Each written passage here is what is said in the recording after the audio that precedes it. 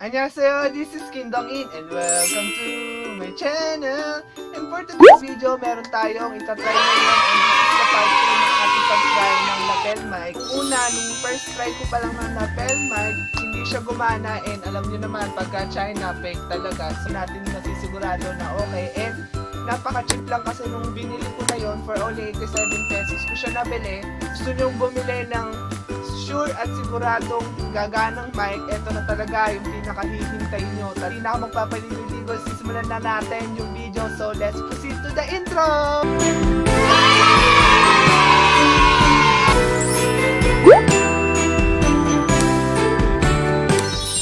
Hello, hello, Kimchi Hearts!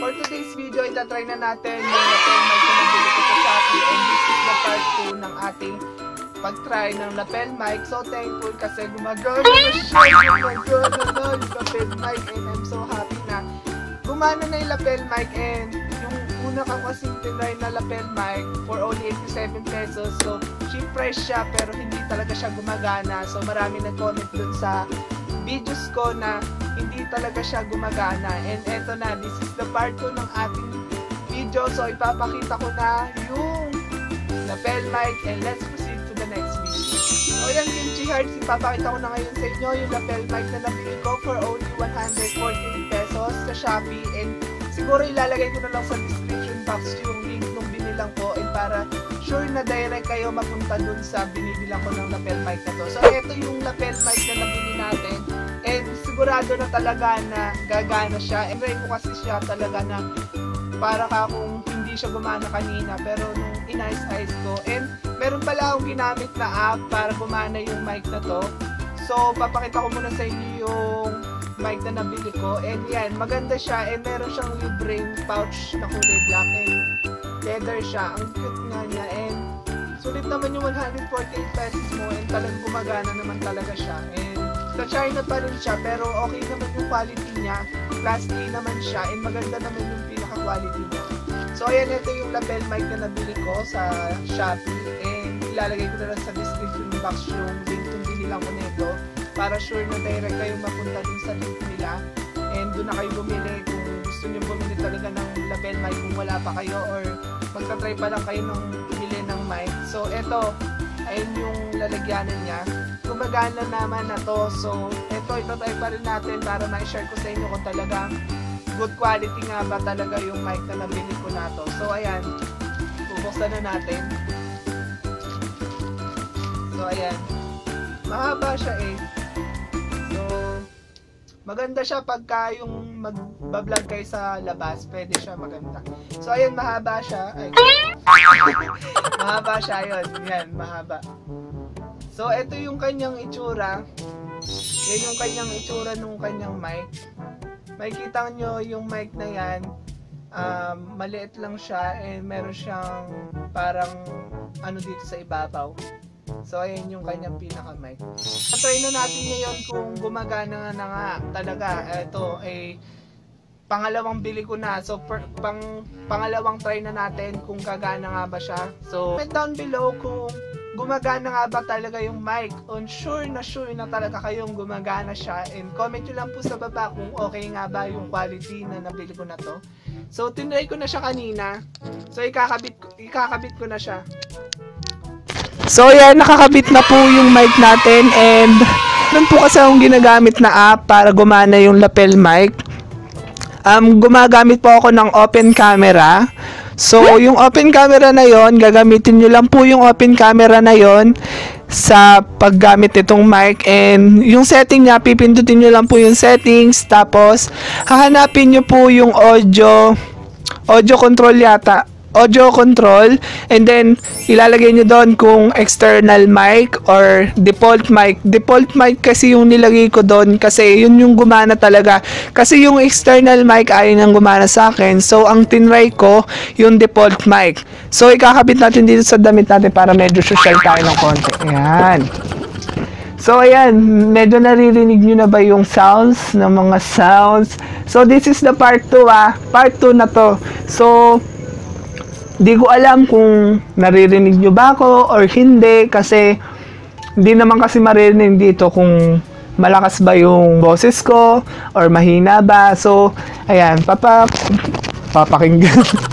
so, itinatry ko siya para marinig nyo yung quality and kung interested kayong bumili sa shop na binilang ko nito, 148 pesos, sulit na sulit na siguro yung pera nyo para bumili kayo and napakamura niya.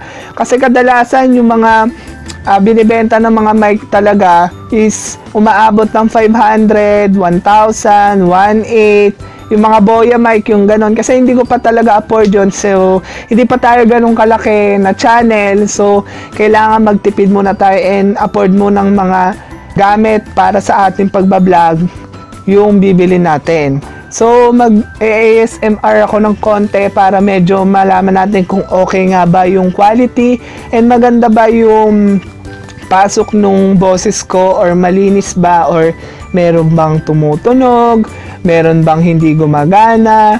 So, ito kasi ano na to, mic na to, nakita ko siya sa video ni Ate Sheena yata, Ate Sheena. So, ito siya yung talagang pinanood ko kasi talagang gumagana talaga and cheap price lang talaga, 148 pesos lang na mic makakabili ka na and sulit na sulit na yung pera mo kasi maganda rin yung pouch niya, meron siyang pouch And kadalasan kasi sa mga nakikita ko sa mga videos, meron talagang pouch. Talagang gumagana talaga yung mic nila. So mag-ASMR ako ng konti. Siguro mga mga 2 minutes para marinig nyo kung okay nga ba yung mic na binili ko na to. So, tatry natin yung ASMR ng konti. So, let's proceed again to the next video. So, ayun Kimchi Hearts, mag start tayo ng ASMR ko no. Kebot Kembot. So, So, titingnan natin kung okay ba yung quality ng mic na to. So, ayan na, mag-ASMR tayo. Tatry natin kasi first time ko lang na mag-ASMR kasi hindi ko talaga alam yung ASMR na yun. So, ayan. Hindi ko alam kung naririnig nyo ba talaga yung tunog. Hello! Hello! Hello! Hello! Hindi ko talaga alam. Basta daldal ako ng daldal kasi kasi para malaman natin kung okay nga ba yung mic na nabili natin. Kasi sigurado naman na sure kayo na kung bibili kayo ng mic, ito na lang gamitin nyo. So, ayan.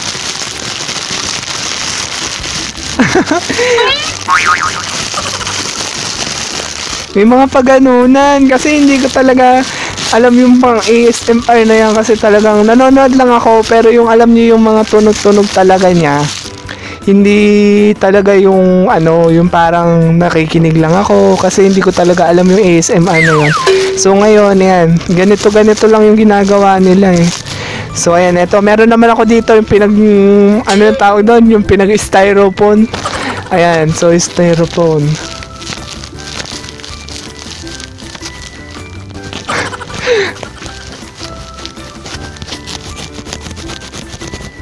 hello, hello parang, parang may sakit ah. Hello, hello, hello, hello.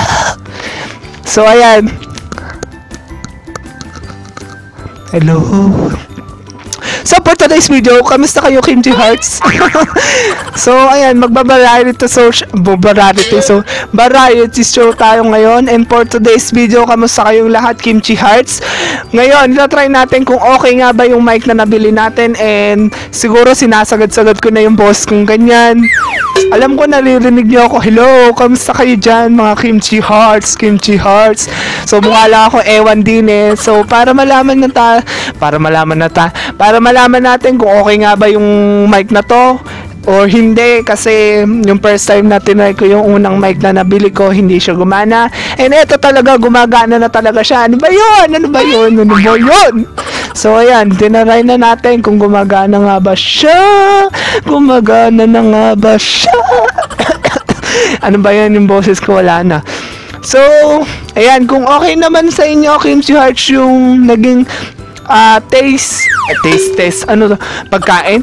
Naging review natin dito sa Lapel Mic. Don't forget to like this video and Ah, wag na rin wag niyo na rin kalimutan mag-subscribe sa akin channel kung nagustuhan niyo tong video and kung gusto niyo pa ng mga maraming videos na mga gusto niyo mga pagkain, mga skincare, mga other entertainment videos, punta lang kayo dito sa akin channel and subscribe niyo na yung i-hit nyo na yung subscribe button and notification bell para ma-update kayo sa, sa mga videos kong gagawin and thank you for watching this video Kimchi Hearts and see you on my next vlog. Annyeong!